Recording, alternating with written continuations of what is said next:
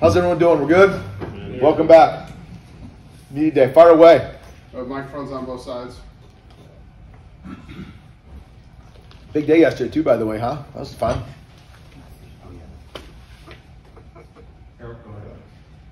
So I couldn't help but notice uh, over the course of hearing you that you guys went to the Chiefs with Andy Reid and everything and kind of used a little bit of what they got going offensively, in the way that they do creation of plays and how they kind of you know, mind meld, if you will, you receiver. How much does that influence your offense and how much more do you think you're going to have this year, especially with some, some guys back that know what? Well, um, you know, obviously very gracious of them to let us come in and watch watch and practice for a day, and, and they're they're super hospitable, and you know, there's a lot of relationship that we have with guys and their staff and what they've done. But I think when you talk about things that they have done in the past and what he's known for and his staff and the things that we want to try to do in terms of imagination and creativity, right, and using personnel a lot of different ways, you know, that's who we want to be too. So it's an easy fit to go over and spend some time with them and um, profession develop, if you will. And again, they're, they're super hospitable, so so very very thankful for for that. Um, but you had pointed out with the experience that we have coming back, and, and I know I had said this in here before, uh, when you have experience coming back and players coming back, in theory, that should allow you to add more offensive volume because they have a good understanding of things that already have been done.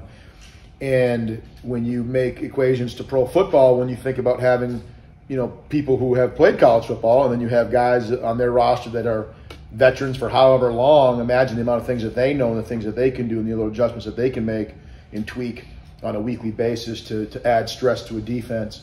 Um, we have that, in, you know, with a lot of our, our, returning players. And a credit to our guys, uh, this fall we, we, put a lot on them because I, I, told, especially our guys who are returning starters and returning players, the production that you pointed out. I said, we, we you're not going to get bored, right? It's our job as coaches to make sure that you're mentally stimulated and still growing. That's our job to develop them. So we have to develop our best players have to get better and we have to develop the guy who just took his first college football snaps this fall. So when you think about what you're doing offensively, you need to be able to do both those things. You have to cater to both those kind of student athletes. Okay, and so at times you have two different installs. You have two different ways that you're you're going about things because the Luke Grimms of the world, right, need more to stimulate them mentally and help them grow than let's just say you know Jared Sample, who who just showed up here and had his first college football camp right now. Okay, and so they're in the same position we have to teach them. We all have to grow. They're all individuals, so we have to have them move together. But to your point, with the production back, with the people back, you can go in, you can do all these new things, and they're executing really well. But then you can go back and just call I call the day one stuff, and then and it's like they don't they don't skip a beat. So it's it's been it's been really rewarding to watch them do that this fall. One more question for you. With Jalon, obviously you got to see some very highs for the injury last season. What do you want to see out of him this year to improve upon last? you know, continued growth. I, have commented before about what he's doing well, the growth of, of him understanding what we're doing, um, the growth of, of him knowing, you know, the ins and outs of all the plays. Um, some of the things that we've started to do, and, and, again, it's our job as coaches to develop them, and he, and he wants to have the opportunity, like a lot of our players, to be able to play beyond college. Well, we look at who those quarterbacks are, the things that they do, and how they communicate to their other players and receivers and tight ends and backs and protections. They have to basically be a coach on the field. And so we're giving those guys some of those opportunities in fall camp to, to, to, you know, we let them run some meetings sometimes and watch Skelly as a as an offensive skill position group, and it's been been good for them to stand in front of the group because I'm talking about Jason too here, right? When, when I say about Jalon, where they need to step and grow, um, you know, to, to, take more ownership, if you will, right? Feel they have ownership, and I think he does, and he believes that he has that uh, in the quarterback spot, but really understand, hey, I know the ins and outs of what's going on here.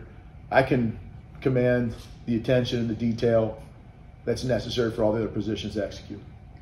I was going to ask about Jason. We just heard from Lance, super complimentary about how he's improved on and off the field. Just how has that manifested itself from your perspective, and how much confidence does that give you, especially when Jane was not always on the practice field? So yeah, I've talked about here before. I mean, how many teams? Did anyone go back and look? By the way, how many teams have starting quarterbacks at the Power Five level that have won games, right? And have how many of them have two on the roster? What a blessing! and he's had a great camp. I'm super fired up for Jason. Very proud of him and what he's doing because when you think about what our core values of our program are, we talk about daily improvement and buying in to, to the process, you know, getting 1% better every day. When you look at Jason Bean when he first stepped foot on this program, when we because he showed up when we showed up, right, and how he is now, it embodies everything we're talking about. It is the it's a great example of somebody who's just getting better every day. So does it give us a lot of confidence? Heck yeah, it does. Right? It, I think anyone would who's got two starting quarterbacks that have won games before at this level. And in terms of the play creation process they alluded to before, just how's that been going with the players? I think the receivers said they were going to meet with you today. Oh yeah, see here we go. So I got receivers and running backs still to meet, but let me tell you, the three groups I met with the O line, the most surprising, I won't lie to you, has been the offensive line. They came in with some stuff, and I was like, really well thought out. And it wasn't just a bunch of, you know, hey, here's let's put eight linemen on the field, right, and throw me the ball kind of stuff. Although Puni did one of those deals, he kind of remember we joking about come and take a snap. Was that here we're talking about? that? He did that, I said, come on now, right? But they came up with some good things, and it's fun to see them. And in in really as a coach and a teacher, right, and that's what we are. All we're trying to do is get these young men who right to critically reflect on what they're doing and what their really their goals are. And for them to be able to do that and not come in with a bunch of just BS, right? Except for the Puni taking a snap, okay? Uh, like shows that they're getting it, and you know what I mean. That they understand what we're trying to do, and they kind of know some of the ins and outs of what we're doing offensively. So it's been it's been fun to watch. I have the receivers and running backs still to do, and we'll see how many receivers are on the field at the same time. Right, same thing with the running backs, but but it's good, you know, and they, and they, they take it serious, and I have to. I have a notebook in my office on the desk, and it just says it's players' place. And the things they come up with, and I give them. They send me messages and stuff that they find on social media or whatever it is. So it's awesome. How have you gone about trying to get continued growth for Jalon as he deals with his back? Uh, the same way you would with any injured player, you manufacture and make sure, and you know, um, they understand the mental reps that are necessary. So if you watch, he's out there taking mental reps from behind, watching, going through the progressions. Um, after time, he'll he'll be in my ear and whisper, you know, he needs to build the ball here, or that was really good. You know what I mean? He's he's really quick to. Um, um, compliment his teammates when he sees they recognize a good read, right? Obviously, Cole Ballard has has um, his reps have increased, and so there's a few snaps where Cole's doing a heck of a job making a great read, and, and Jalon's super excited and happy for him. Uh, but so it starts there. It starts with keeping him engaged. Um, you know, I think when, it, so we have um, you know uh, a whole cut up that we make for these guys to watch and have them stay engaged in ways. To, okay, here's the play that we just installed. Here's 10 different snaps of teams from pro football to college football running something similar, look at it and see how it is, right? So we, so we do those sort of things off the field for them to make sure you stay engaged. But, but it's good. What are your hopes for Tanaka Scott this month? Tanaka Scott, um, the hopes for him, just like anybody, is to be better tomorrow than he is today, right? And he's been doing that, right? And you get into the, the thick of fall camp. Um, and I would, I'll never put a number on anybody of saying, here's how many reps, here's how many targets, here's how many, because it's all variable week to week, right? It, it, things that we can't control. Um, but going through the summer and the training, I thought he had a really nice spring. Going into summer, had some really good moments in the fall. Looking for the consistency, right, from from anybody who hasn't played significant snaps. That's what you would look for. You'd say that about that. When it comes to players designing plays, is that something you guys did at Buffalo? Uh, maybe not as in depth as we are now with every position. Um, and of course, through the years, you always have players come in and give you ideas or talk about doing this or doing that, right? But but it was uh, intentional for them to want to take some ownership, or for us to give them feel like they have some ownership in what we're doing. Okay, and I said you got to sell it, and I, I tell them I said I tell them my thought process is my thought process about any play that we do or run or install. If it if it we install in a meeting, okay, we understand. And then we go walk through it, right? Which is the next step of, of evolving how to run a play. And, and so-and-so struggles to do the, do lineup right or move right in the walkthrough. I've got to recorrect it there, and then we go run it 11-11. I said, you think that's going to come out of my mouth on a Saturday? It's not, right? So when you present something, when you do it in a meeting, we're always evaluating. When we do something in a meeting, if you understand it, like let's say it's a play design for whatever, pick a position or a player. That's probably he's going to get the ball. Maybe his work hard is in the move or motion or whatever. He struggles in the meeting to understand that and comprehend that, and then he struggles again in the walkthrough for it. That's it. We ain't going to call that play. Right? I tell him that. That's the thought process. So if you have these ideas and these plays, you better be all in and getting it done because otherwise it never comes out of mouse on Saturdays. And obviously, you know that's you can't be wasting time practicing things that you're not calling on Saturdays. That's that's a bad deal. That's that's when you that's losing football, right? So we avoid that. That's why I tell them it's got to make a lot of sense if they come up with something. I'm curious on the offensive line, um, Armaj, Reed Adams. Just what have you seen from him in camp, and what do you feel like he brings to that front five? Well, he uh, he has been playing as consistent as he has this fall, uh, uh, ever, and uh, that's good to see. He stepped up. He recognized an opportunity right there to be able to play significant snaps because there's competition. There always will be. I know Coach Leipold and Coach Fuchs have already probably talked about these things, but you know how we want to have you know eight guys ready to go, and we want to be in a situation where you know you can plug and play and always have the five best out. We talked about that before, but he he's been able to demonstrate uh, in practice consistency that he wants that opportunity to be the starting offensive line, be part of that team, and uh, it's good. Now, of course, there's other guys who are trying to compete to be that same spot. And uh, it's been his consistency this fall that, that has really elevated him and given us confidence to be able to put him out there. Uh, but him, what does he bring to the table? He brings some size and speed and some physicality that we really, really like. You know, he is he is big, and if you all remember, I think we've talked about it here before. He was really big when he first got here, and he's really pretty lean right now, and he moves exceptionally well for a guy his size. And that's that's we look for that in our offensive line. We, we want to make sure that we have guys who can move, right? They got to be athletic because we want to be able to create a lot of distortion with those guys. A couple guys I want to ask you about, kind of on opposite ends of the spectrum. When you when you first got here and, and started working with Torry Locklin, um, what, what, was your approach then? How has it changed? And, and, and what do you like about kind of his versatility and, and, what you guys can do with him? Well, it's so hard to think back. It's because it seems it's not that far long ago, right? Yeah. But it is really in your vision, and because you're learning every player and you're learning uh, about them as individuals, right? I, have said it here before. It's so important as a coach to really understand what players' capabilities are and what their limitations are and you can always morph around those things. And so we're just trying to figure that out. And the feedback we got from people that were here in the film is, you know, he's an athlete. He can play in the backfield. He played quarterback in high school. He could play the receiver room. Uh, you look at last fall or two falls, you know what I mean? He's exclusively running back, right? He has an injury, okay? Then you look at uh, last fall, a guy that you would recognize our ability to be able to put him, you know, he's playing running back. He's motioning out of the backfield.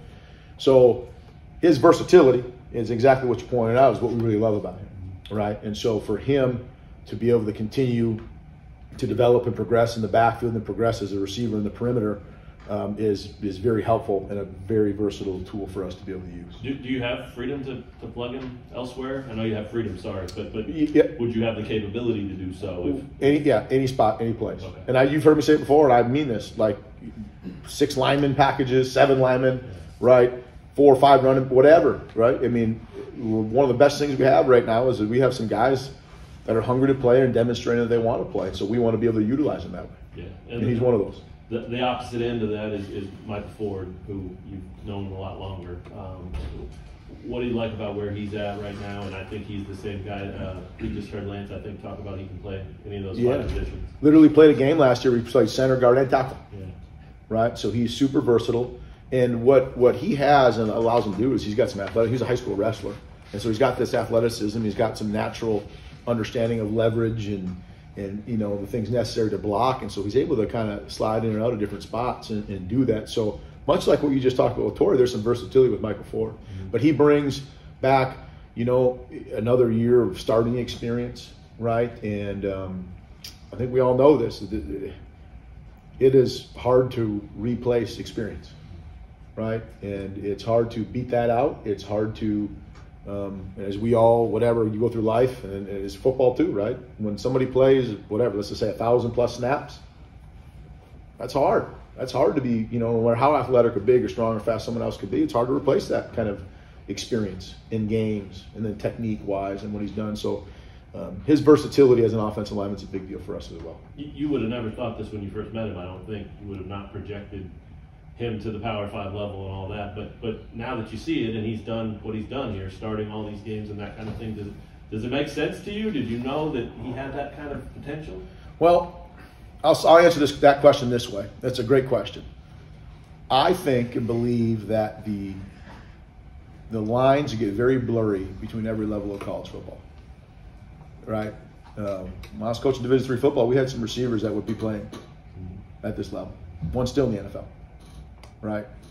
So to say that he couldn't do that when we were recruiting him, I, I, don't know. You know, I don't know if I would go as far as to say that. I would say this though: uh, when a young man demonstrates the capability and the buy-in to just get better every day, and they don't miss practice, and they're always available, and they're always dependable, that seems to be a very common denominator about people who have success in college football at any level. And he's that.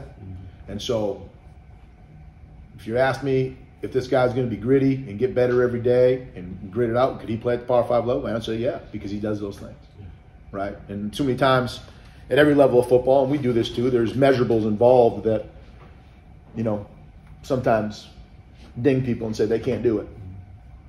Well, there's a lot of people out there too that don't have the measurables, but they got all that other stuff, and they figure out how to do it. He's that guy. Who's the receiver? Kumerow, Jake Kumerow. Oh yeah. Yep. Shout out Kumerow if he's listening. Andy, we- we've talked about Daniels and Bean, we know they're one and two. I'm curious about that third spot. How's the competition doing? What are you seeing from those guys? You know, so between Ben, Cole, Mikey, okay, and TJ are the other quarterbacks in the room. Uh, Cole, Cole has been taking most of the three reps right now. Um, you know, and, and he's kind of earned those. He's got some moxie and savvy that you really don't anticipate seeing from somebody who's in their very first fall football camp, right, in college football. Um, he's doing good. Coach Zebrowski doing a great job with all those guys. Okay, but Cole's been able to go out there and we're able to operate. You know how we practice, and we've mentioned these things before about you know operating at two huddles and making sure we're getting a lot of reps for everybody. Um, he's been able, he's allowed us the ability to go out there and continue to practice and have confidence that we can still train and develop the other positions without having to really quote unquote um, lessen you know what we do offensively, right? So we put a lot of him. He's done a really good job. Not saying, know, of course, anytime I mention somebody doing a good job, you know, you feel like you're, you're, you're insinuating that someone else is not doing a good job. Those other guys are. They're grinding, and, and Ben is just a fantastic teammate and goes out there and got an unbelievable presence. And we talked about Mikey in this room before about his his athleticism and what he brings to the table. Um, you know, all all critical components for what we're looking for in that room. Coach, I want to talk more about Jason real quick. Um, given the way that that bowl game ended last year, what does it say about his character? For him, a lot of guys would have left town as quickly as possible. For his character to stick around and want to come back for another year. Well, it kind of says some of the things that we had talked about a little bit before about with when we were about Mike Ford and guys who benefit from having another year of college football, which Jason is, so have the choice to be able to come back, wanting to just get better, right? Showing the growth that he's had, has put himself in a position that he's going to be placed, right? So it says a ton about him to not just hit the ejection button and, and go do something different, whatever that might be, and say, you know what, I want to continue to see this thing through. I feel like I can do this, this, and this to help the program, and he's doing it, which is awesome for us and him. So shout out to him. Coach, can you go over just kind of the sheer volume of plays? a, a couple of years ago, you might have, whether in season or after the year, said, okay, these 25 plays don't work. We're going to dump them. We're going to evolve those into something else. Compared to where you are, are now, where receiver, lineman, running back, quarterback, how many hundreds of plays do they have to have in their head where they can't think about it? They just have to know what the play call is and what it means to them.